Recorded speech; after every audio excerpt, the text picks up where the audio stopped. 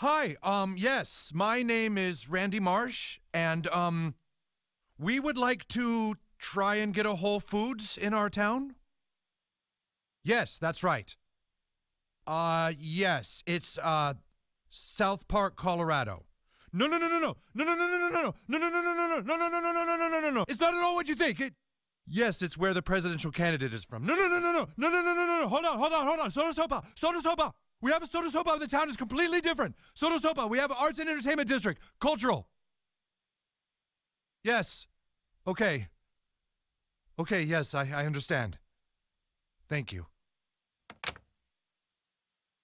They said they maybe might send over a representative.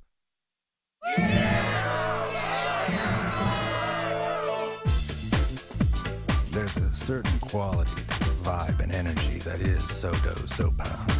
From the independent merchants and unique cafes to the rustic charm of a mixed income crowd. Where else can you let loose your wild side while still being a part of helping the local economy? And now, a chance to own a piece of this most exciting area of South Park. Announcing the Lofts at Sodo Sopa. 2,000 square foot flats that put you right in the heart of it all. After a night out eating shopping in Sodo Sopa, uh, just take a few steps and you're home.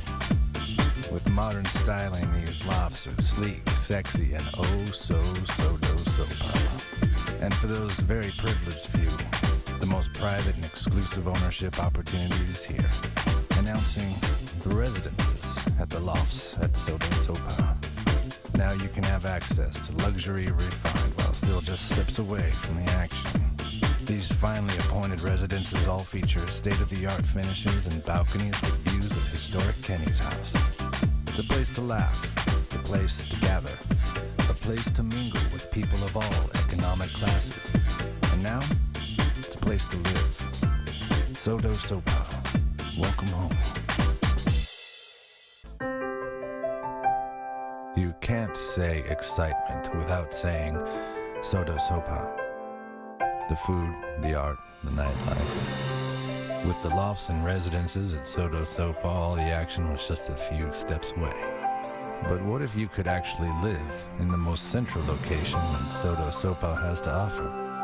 Well, now you can. Announcing the villas at Kenny's house the most sought after address in all of South Park for only the very privileged few. Now you can relax in your state of the art deck spa while taking in views of that mixed Sodo Sopa culture. Shut your damn mouth, bitch! You shut your mouth or I'll shut it. But that's not all. The villas at Kenny's house will also feature access to a private fitness center, clubhouse, and so much more. Plus a breezeway to the proposed Whole Foods just steps away. The villas at Kenny's house. Welcome home. There's a new and exciting place where people can gather to shop, experience, and grow. This is an all-new food and nightlife district. This is Shitty Pot Town. Where else but Shitty Pot Town can you get all the shitty hot spots and shitty food that South Park is known for? In the mood for some local seafood? Red Lobster has all the freshest from Colorado's many oceans. Or if a handcrafted ale is more your thing, head on down to Skeeter's Bar for a local ale like a Coors and a Coors Rice. And then, of course, there's the Shitty Wok. South Park's historic Asian fusion landmark featuring shitty chicken and a shitty sour soup. The state-of-the-art toilet is designed for men and women and is a great place for you to squeeze out all the shitty food you've enjoyed. Now, South Park has another neighborhood to mingle and relax. City Park Town. Welcome home.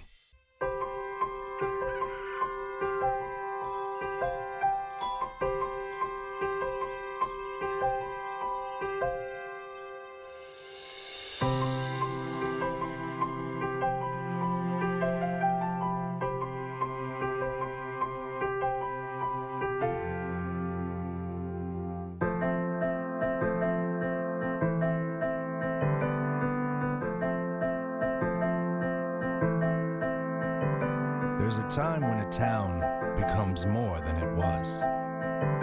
When the people take that bold step into making things better. to progress, to change, to not be what you were in the past. This is a new place, ready for the next decade, updated, revitalized, and ready to fit in with the most progressive towns in America. This is South Park. Home. Are the Mexicans actually staying?